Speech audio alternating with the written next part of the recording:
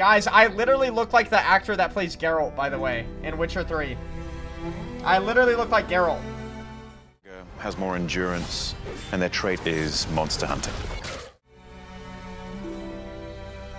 I literally look just like him. It's it's like crazy. Henry Cavill? Yeah, I look just like him.